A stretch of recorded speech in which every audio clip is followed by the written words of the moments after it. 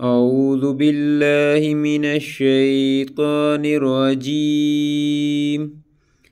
بسم الله الرحمن الرحيم. نظر بد سے حفاظت کے لئے دعا.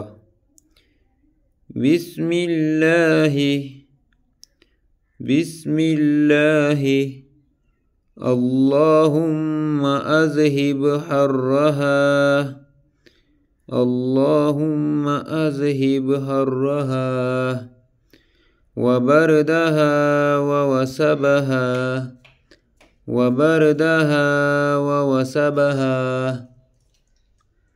فائدہ، حضور پاک صلی اللہ علیہ وآلہ وسلم نے فرمایا، جس کا مفہوم یہ ہے کہ بڑوں اور بچوں پر مذکورہ مسنون دعا پڑھ کر دم کریں تو انشاءاللہ نظر بد کے اثرات سے محفوظ رہیں گے۔